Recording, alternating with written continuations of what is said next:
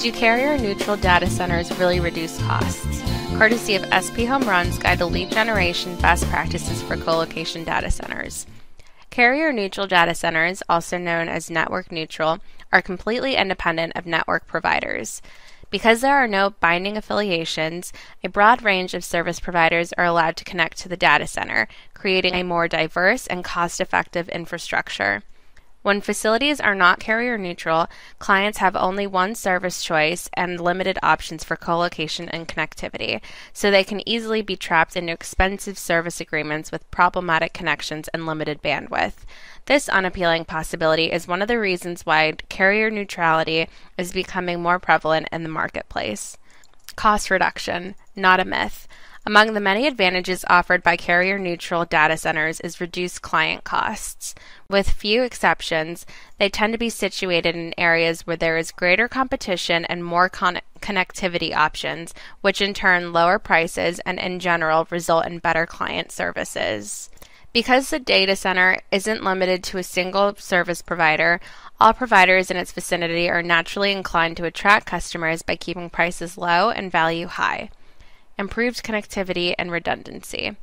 Carrier neutrality has a significant impact on performance reliability.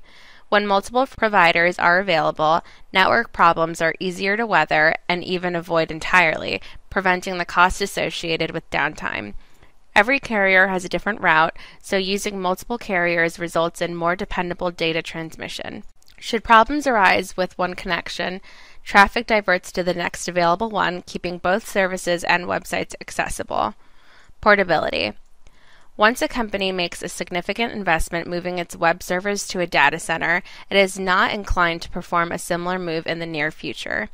If the facility is not carrier neutral and problems arise with the network, options are limited unless the company is prepared to move again.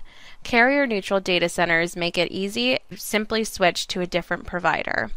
Greater compatibility with cloud based companies.